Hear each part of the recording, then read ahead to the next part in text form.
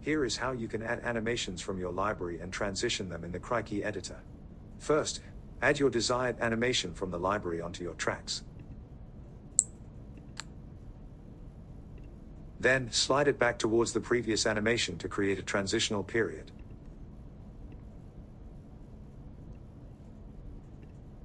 And there you have it. Your animation will transition smoothly to the next. Try it for free today at krikey.ai.